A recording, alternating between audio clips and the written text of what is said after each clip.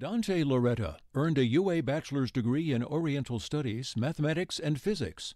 After earning a doctorate in Earth and Planetary Sciences from Washington University in St. Louis, he returned to the UA to join the faculty of the Lunar and Planetary Laboratory, where he is currently a professor of planetary science. Dante is an expert in the analysis of extraterrestrial materials like lunar samples, meteorites, and comet particles. His work contributes to our understanding of the chemistry of the early solar system and the origin of complex molecules that may have led to life on Earth. He has over 70 peer reviewed publications and has led or participated in over 20 NASA grants and missions, all while teaching, giving scholarly presentations, serving on committees, and designing board games to teach science and engineering to children. About his Oriental Studies degree, Dante says, It was a fantastic complement to my science degree. I never dreamed that it would be so beneficial to my career. I now have an active collaboration with the Japanese Aerospace and Exploration Agency and use my language and cultural knowledge extensively.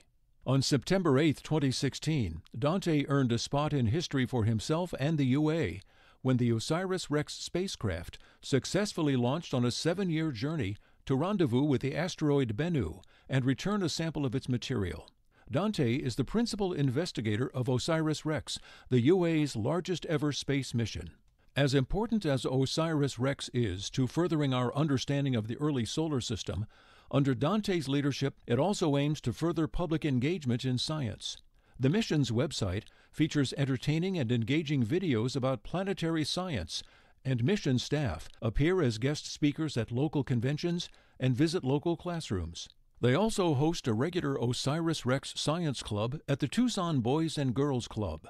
Dante feels that his humanities background helps with these outreach activities because the humanities offer perspectives on questions that also drive science. Where did we come from? Are we alone in the universe?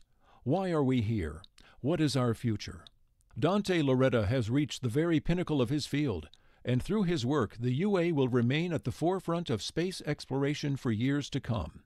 For his many accomplishments and outstanding service to the university, the College of Humanities is proud to name him its 2017 Alumnus of the Year.